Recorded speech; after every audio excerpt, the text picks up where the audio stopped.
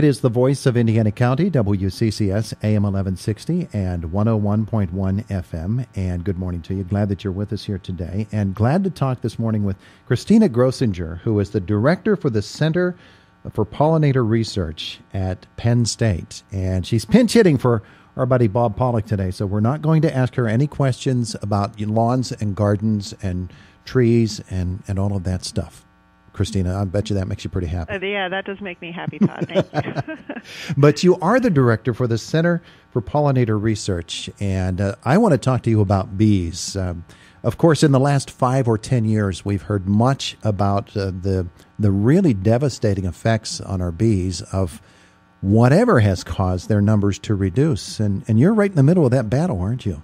Yes, yeah. We actually, so at the Center for Pollinator Research, we have uh, the largest group of faculty who are working on issues related to bees and other pollinators in the world. That's a good place to start because I think people might not understand what a pollinator is and how important they are to our environment and, and really to life. Yes. So, um, so uh, bees and other pollinators are uh, they're really important basically for moving pollen from you know the the mommy parts of the flower to the daddy parts of the flower essentially.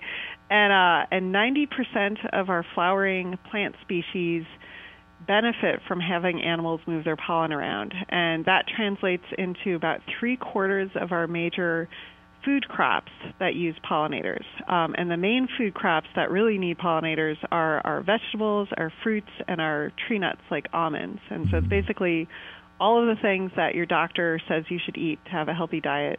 Um, we can thank bees and other pollinators for that. Um, and the Pennsylvania uh, agricultural economy actually is very pollinator dependent. We have one of the most diverse agricultural systems in the United States and pollinators contribute about 250 million per year to our to our um, economic value of our agricultural crops.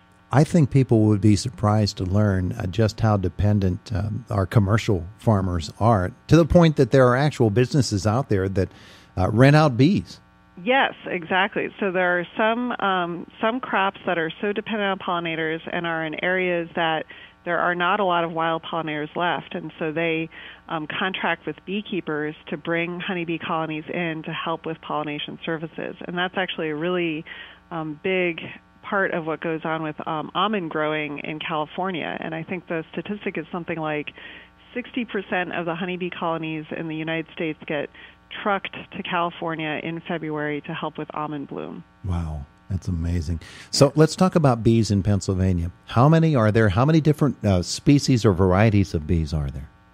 So uh, I think most people are familiar with honeybees, and um, mm-hmm. honeybees are actually uh, were brought in from Europe when people uh, moved to the United States, and so they were actually not native to Pennsylvania, but they're sort of our most iconic bee and the one that everyone is most familiar with, and they're the ones that are used um, for a lot of these pollination contracts and also where we get our honey from. Mm-hmm. But Pennsylvania has over 450 species of wild bees, and a lot of these go unnoticed by people because some of them are very small.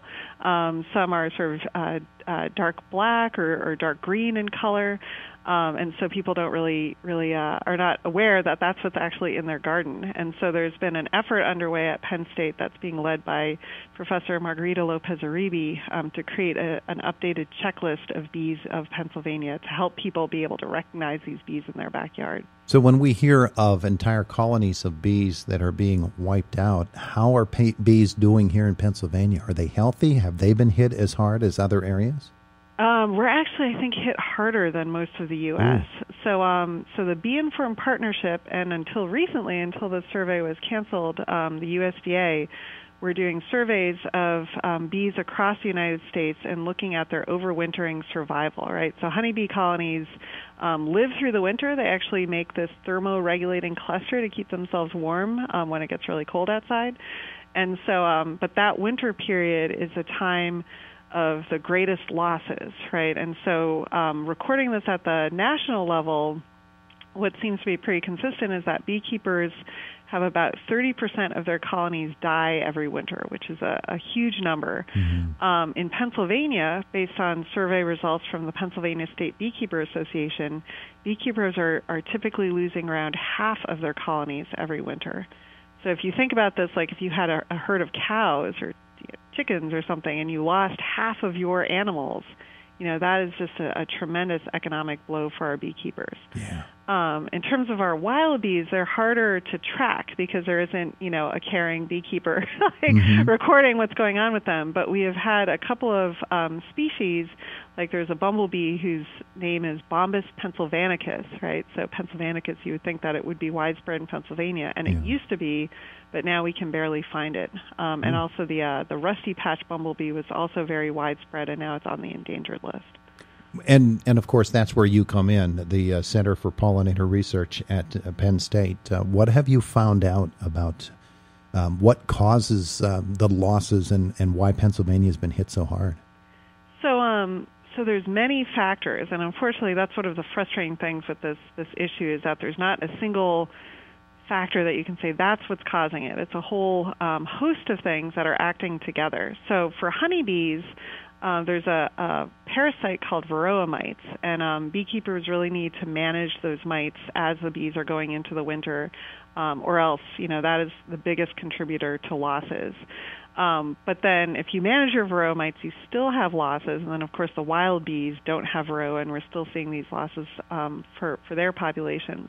And the main factors seem to be changes in the land use patterns, right? So um, having more land in agriculture or in urban areas, and so that takes away the flowers that the bees depend on for their food. Mm-hmm. Um, for wild bees, they nest in the ground or they're nesting in stems. Um, are sort of old trees, and so if that habitat is, is gone, then they have nowhere to live, right?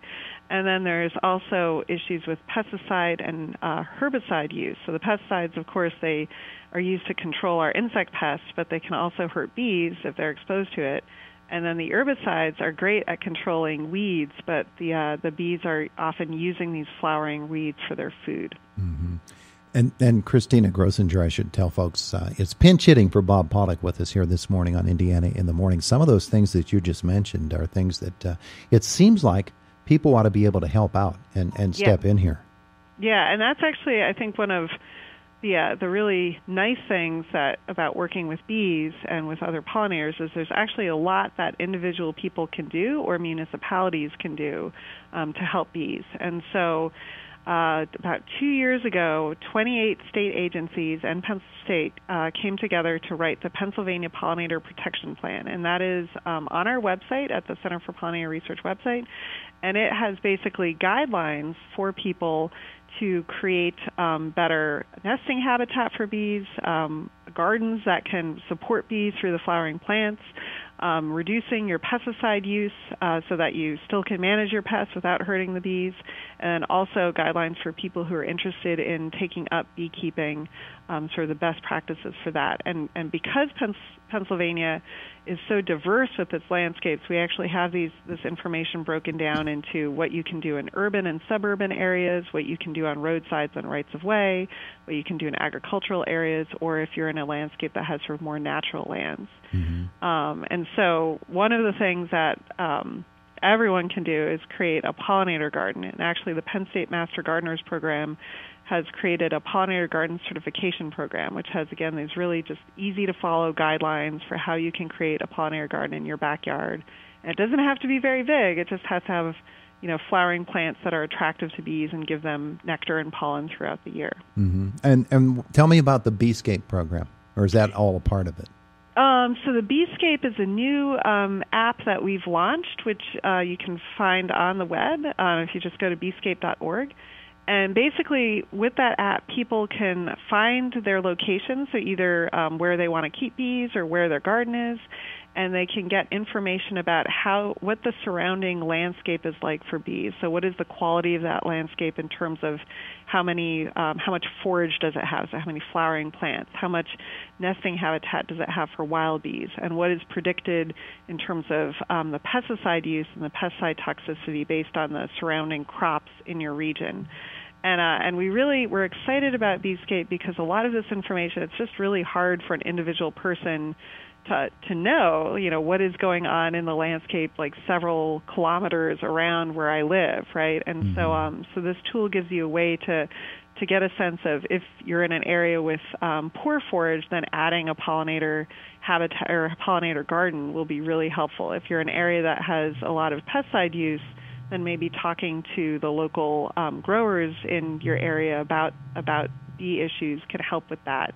Um, and then, of course, homeowners can make decisions about what kinds of uh, treatments they're doing in their in their own lawns to to reduce the risk of pesticides.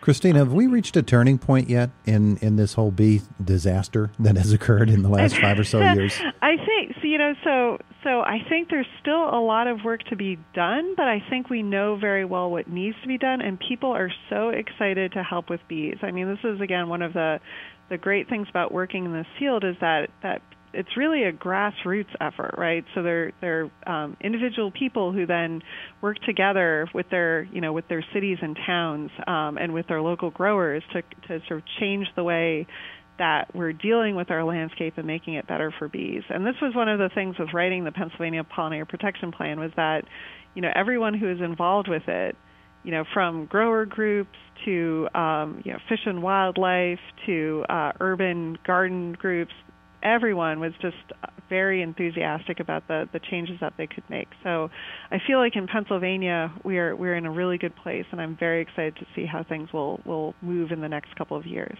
So hug a bee today, huh? Hug a bee today and plant a flower. there you go. That might be a better idea. she's Christina Grozinger. Uh, she's the director for the Center for Pollinator Research at Penn State. Pinch hitting today for Bob Pollock. Christina, thanks for spending some time with us. Thank you so much, Todd.